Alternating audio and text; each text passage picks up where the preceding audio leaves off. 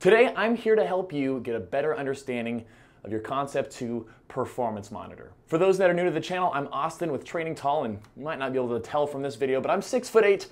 But Training Tall is all about giving you the tips and strategies to help you take your fitness and health above the average, no matter how tall you are. And the performance monitor on the Concept 2 rowing machines is one of the best features about them. But there's a lot going on, and so in this video, I hope to help you better understand all of its features, all of its functions, but I'm going to break the video down into a few different parts. The first part, we're going to discuss what the actual rowing display screen is showing you and the different options that you can see while you're actually rowing. The second part is going to go through how to understand your results through the memory function. And the last part is going to help you better understand the options and settings that, if you really spend some time with those, are going to help you get the most out of your workouts. So if you want to bounce around the video or hop to a specific part, you can see the timestamps written down here if you're interested in just one of those parts. So let's get right to it then. If you sit down on your Concept 2 rower and you start rowing, or if you press this just row button here in the top right hand corner, you'll start seeing some numbers being displayed as you row. If we look down here at the bottom of our monitor, there's a couple different buttons that you should be aware of. There's the units button, there's the display button, and then there's the menu button. The menu button just brings you back to the menu if you want to program in a workout or check your settings or whatever. But these other two buttons, the units and the display, those are the ones that we're gonna mess with here. And by the way, the stuff that I'm talking about here applies also to PM4 and PM3 monitors. Your buttons just say change units and change display. For the most part, this, this stuff is all the same. So the first thing I'm gonna do here is I'm gonna play around with the change display because as you hit change display, you're gonna see the display change. Who would have thought? And we're gonna start things off here on this very simple screen. This is sort of the enlarged view that as you're rowing gives you sort of the bare basics that you would want to know when you're rowing. You've got your time displayed on top, that's just showing you how long you've been rowing for. You've got your intensity shown as a few different things. I'll talk about that in a second. We've got our distance written down below that, and then you've got your strokes per minute or your stroke rate here in the bottom left-hand corner. Now I talked about this intensity level right here. That is where our units button comes into play because with our units, Concept 2 mainly helps us understand our rowing through the units of either split per 500 meter, calories per hour, or watts. And on this basic display, this big number here in the center is showing your instantaneous level of power output. That's because every stroke, whatever intensity you bring, it might go up, it might go down. It's all your responsibility to row as consistently as you can for the most part. Now, as far as understanding what those numbers are, if we go here to the split per 500 meter, or I like to think of it more as a pace per 500 meter, think about if you were running with a fitness watch outside and it was showing you your pace per mile.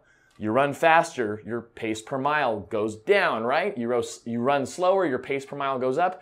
It's the same thing. It's a pace per 500 meters. So if you row with more intensity, the pace goes lower. If you row with less intensity, the pace goes up.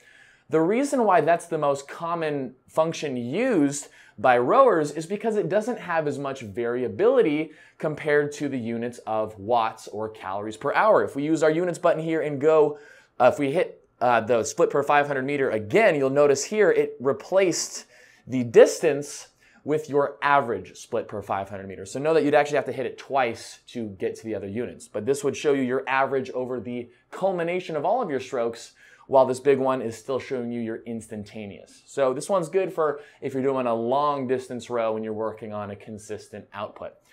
If we hit units, we go into watts here, and this is showing you essentially how hard you're rowing as a true measure of force, of power. You row harder, watts increase. You row softer, watts go down. But they have a wide variety. You can row as light as like 20 watts, but you can row as intense as upwards of like 1200 plus watts for the absolute elite rowers. It has a lot more variability than the split or the pace per 500 meter. If we hit units again, it changes to calories per hour. This unit has even more variability to it. It works kind of the same way as watts though, as watts do.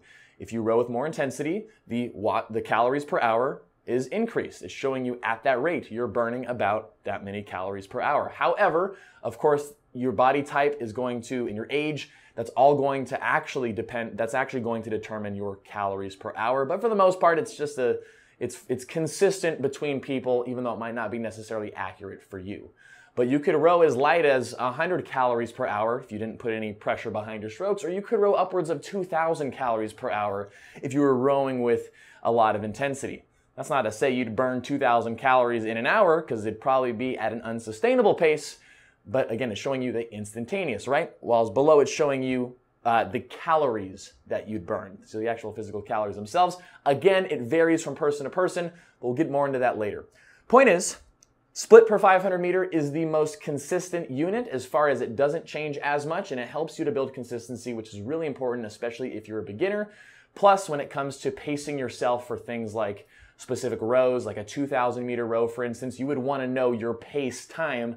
That way you can accurately calculate your finish time. Because if you're rowing at calories per hour, who knows how long 2,000 meters would take you. Anywho, that's the units button, and I recommend that, especially if you're a beginner, to stick with the split per 500 meter and get familiar with those numbers throughout your rowing workouts. Now, we also have our change display. We started things off here on this big, um, sort of blown up display, but if we hit display again, it brings us to the sort of fully encompassing view that gives us a little bit more of an understanding of our metrics. So we can see the timer written on top, the strokes per minute, that's your stroke rate now, is in the top right hand corner. And then we're back to our average or our instantaneous pace per 500 meter. Below that is your distance. Below that is your average pace per 500 meter. So now we get to see both of those, the distance and the average pace. Below that is your split meters. We'll talk about that a little bit more when it comes to programming in our workouts. And then below that is a projected distance of after 30 minutes of rowing it's not the most important thing in the world unless you're curious about how many meters you could row in 30 minutes straight. Uh, and again, that would change based off of your intensity throughout. So it's constantly computing what that would be based off of your intensity.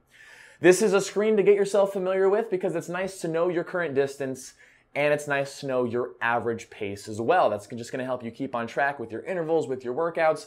And this is the preferred screen to row with in most cases, in my opinion. If we change through the display again, we can now go to the force curve display, where the top half of the screen is showing us again our time, our strokes per minute, our pace per 500 meters, and our distance, which you could also change if you hit units again, you could change the distance to show you your average split instead. But below that in the second half is showing you your force curve. And I've done a whole video on the force curve and how you can understand this but it's to help you sort of see how smooth your rowing stroke is. If it has any sort of peaks or spikes at random points, this is a good way to help you practice rowing at a consistent force throughout your stroke. And again, if you're interested in understanding the force curve more, you can check out my video on understanding the force curve more. Hitting display again, brings you to the Paceboat screen. Now there's not really anything you can do with the Paceboat screen sort of on the just row if you just pick up the handle and started going, but we'll get more into Paceboat stuff when we talk about programming our workouts. And the last display we have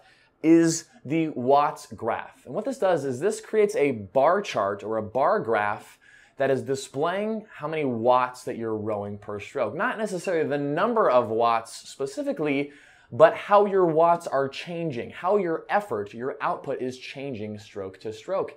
And so as you row along, which by the way, it counts about 50 strokes in a row before it starts to slide the graph, it shows you your intensity relative stroke to stroke. So if you started off a row very intensely and started to die off, the graph would show you that. If you were nice and consistent from start to finish, the graph would show a nice, fairly even bars across the board and vice versa. So it's a good way to help you understand how to pace yourself through the start and finish of a row, especially on the long distance rows. So that's a display setting that you might want to consider using from time to time. So spend some time with these different displays now that you have a general idea of how they work and just get used to the different numbers and the different metrics that it's showing you as you work on your rowing form. And over time, they're gonna become way more second nature and it's not gonna be so overwhelming. All right, next up, we're gonna get into programming your monitor for specific workouts because Concept 2 has a whole variety of different ways that you can do that on the performance monitor. So let's get right into it. Select workout is where you wanna go. You hit select workout and you're brought to this whole big list of things. There's the standard list, the custom list, the re-row list, and the new workout. If you click on standard list, this gives you a nice little breakdown of just some common rowing distances and rowing workouts that you might wanna try for your first couple times. You've got a 2,000 meter row, 5,000 meter row, that's a big one, 10,000 meter row, holy smokes, 30 minute row for a timed row instead of a distance row. And then they've got intervals as well. 500 meter row with one minute rest. If you clicked on that one, you would just be repeating intervals of that. So that's just the standard list, a little quick selection of a few different workouts that you can try. If you hit menu, you go back to the original screen and then you can check out the custom list. Now this gets into a few different more advanced style intervals. We can see here we've got the 30 seconds on, 30 seconds rest or 30 seconds off style of intervals. And then you've got the intervals, uh, uh, pyramid intervals. So we can click on this one here for a little bit more detail. It shows that, okay, this workout's seven intervals, starts off minute on, minute off, two minutes on, two minutes off, three, three, four, four, three, three, two, two, one, one, works your way down. If you're like, cool, let's do it, you'd hit continue. If you're like, nah, not for me, bro, you hit menu back, and then it brings you back here. And again, you can select through the variety of different rows here. They've even got the marathon row down there for you crazies out there. So those first two buttons are essentially just a list of pre-selected workouts that you can just pick and do. And we're gonna skip the rerow button for now, and we're gonna look at the new workout. And this is what I generally recommend for any workout that you do, even if the workout that you wanna do is in this, is in the standard or the custom list. I recommend that you get used to programming in your workouts by selecting new workout. So if we check this out, we're brought to another menu where we can check out single distance, single time, single calorie, or intervals. And for these first three settings, they're pretty much exactly how it sounds. If you were gonna hit single distance, here on this screen, you can program what distance you wanna row. This is the row in meters. We've got a few different um, buttons here on the side to help us program the rows. We've got this plus and minus key, which adds or subtracts the number on whatever, uh, what is that, the tenth, the hundredth, or the thousandth? Uh, what is that? I don't even know what that's called. the number slot you can scroll through your number slots using this top right arrow key or the button below the plus and the minus to sort of slide through the number slots. and you and after you've programmed your distance, let's say we want to row 3,000 meters. We could bump that plus, boop, to 3,000. We can scroll our way down here and take a look at change split length. Now, split length is what we saw on that advanced screen at the bottom where it showed split meters. What a split length is, is this is how it's going to break down your results summary. So for instance, if we wanted to, let's see, if we wanted to get 10 intervals of like basically seeing how we did 10 throughout 10 different checkpoints in the workout, well then we could change our split length here to 300 meters. And that means every 300 meters in our results summary, it's going to report our metrics. So if you wanted to see a bunch of metrics, you would want to set the split length to a lower number. If you didn't care as much, and let's say you wanted to just know the start, the middle, and the finish, then maybe you could change the split length here to just a 1000 split length, and it would display your results based off of the first thousand, the middle thousand, and the third thousand. So we can change the split length there, and then we've also got our pace boat. Remember that setting, the whole display of the pace boat. You can use that setting to essentially set yourself a goal pace. Let's say you wanted to hold a two minute pace for the entirety of 3,000 meters. What you could do is set your pace boat here to a two minute split per 500 meter. And then using that pace boat display, you would actually be rowing along with a boat that's going at that two minute pace per 500 meter pace. And so you can sort of see where you are relative to the boat as you go throughout your row. It's a great way to help you pace yourself consistently from start to finish. You by no means need to have a pace boat. In fact, most of the time I recommend not using a pace boat and just, again, working in, to understand your own numbers before you set those goals for yourself. And same with changing the split length. Generally, you can just leave it to whatever it pre-programs it to. And then when you check your summaries, it usually gives you five intervals of whatever that's whatever your row was, five sort of checkpoints. That's the standard that it does. But you can ma- manipulate those options if you so choose. Now, if we, I keep hitting my head on the monitor, blink. If we go back, it's the same style for single time. You could set the specific time, which would mean you could also change the split length of the time intervals reported in the result summary. Same with setting a pace boat, and same goes for single calorie. It's very common in the CrossFit community to do a calorie row. You can set the row to essentially be as long as it takes to burn whatever number of calories that you set it to. And again, you can change the split length to be at how was my pace every 10 calories over the course of a 50 calorie row, for instance? And of course, you can set the pace boat too. So that's the general workout setup for the distance, time, and calorie as far as doing that in one go. But the interval section is where things get fun, and this is where you can really have some fun and variety with your workouts. Now, if we go to intervals, we can see here that we've got intervals for distance, time, calories, or variable, which is variable is essentially a combination of the three. But if we take a look here at intervals distance, the display changes slightly. You set up your interval that you want to row. Let's say we wanted to do sets of 300 meters. We could change our set distance to 300 and let's say we wanted to give ourselves two minutes of rest in between each interval. You could use that top arrow to scroll the number slots down to the set rest time. You want to make sure you're highlighting the minute section there and you could say, okay, give myself two minutes of rest. Is that what I said? Minute 30? I can't remember. Let's say we said a minute 30 rest in between. Minute 30, you can use the arrow keys to slide around just like that. So you, what you would do is after you set this, you'd hit the OK button here on the bottom and your monitor will row intervals of 300 and minute 30 rest on repeat infinitely until you hit menu back. So if you keep rowing the intervals, they'll keep ticking up. I believe the, the intervals cap off at around 30 intervals on the PM5s. But point is, it's not, you, you don't set it for, I want to do eight intervals or 12 intervals. You essentially just hit menu back after your last interval during the rest, and that will cap the end of the workout. And guys, again, this applies to the set time. You can do intervals of minute on, minute off if you so choose. You could go to the calories and do calorie intervals, 20 calories of rowing, minute or two off, or whatever it might be. It's the same style. And then, like I said, intervals variable allows you to mix and match. Maybe one interval you could do a calorie interval where you want to row for 50 calories and let's say let's take two minutes of rest time in between. You hit okay. But the next one, you want to row for a distance. And so let's say you want to row for 700 meters this time, but the same two minutes rest, you hit okay. And then it goes interval three. And then when you're done, you just hit no more intervals. And this will actually cap the end of your workout at the end of whatever your last interval was. You hit no more intervals and you can start your row. So those are the basics of setting up your workouts. Have some fun with it. Program in some intervals that maybe you see from the workouts that you find online or workouts that you can check out from my ebook as well. But get yourself in the process of programming your workouts each and every time. The process will become a lot more fluid, a lot more natural, and again, a lot less overwhelming. So you did your workout, you sweated a lot, you worked really hard, and now you want to check how your performance was throughout your workout.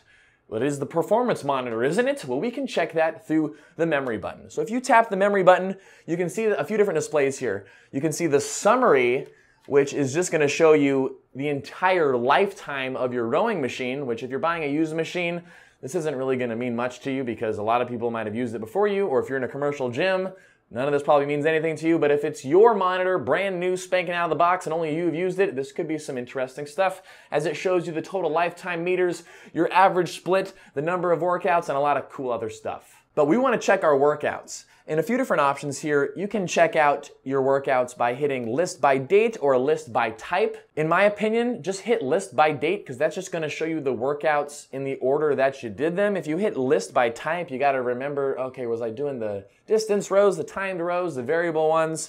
Just hit list by date and that's going to show you the order in which you did your workouts in. And you can see here that I've done a variety of different rows, a lot of 20 minute rows.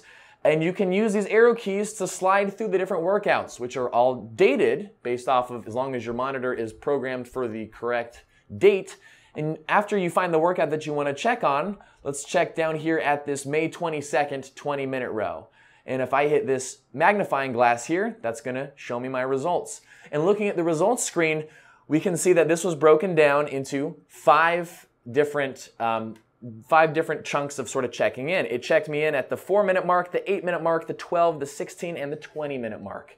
And as we look through these different columns, we can see that the, the column to the left, I'm sorry, to the right of the time is showing us the meters. The top row showing the total meters that were rowed, and then below that breaking down the meters that were rowed at each of the, between each of those different checkpoints. Same goes for the split per 500 meter average that was on my screen and the stroke rate as well.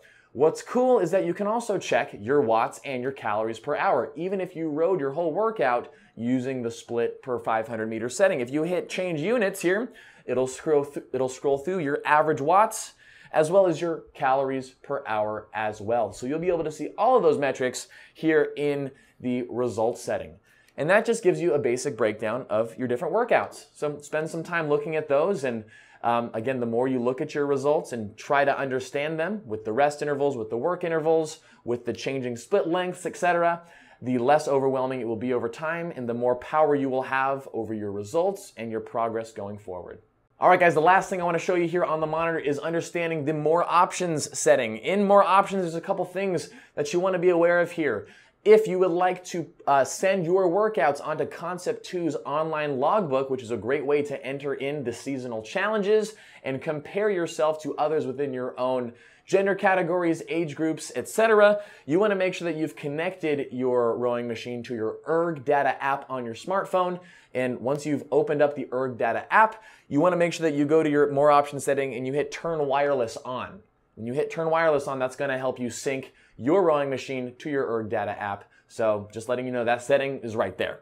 Now, if we hit menu back, another thing that you want to be aware of here, one of the most important things is your drag factor. That's the resistance that you feel when you row. And if we hit display drag factor right here, I've done a couple videos on drag factor, but what this will do is this will show you a number, which is kind of an arbitrary number, but is showing you a computed resistance that you're feeling per stroke.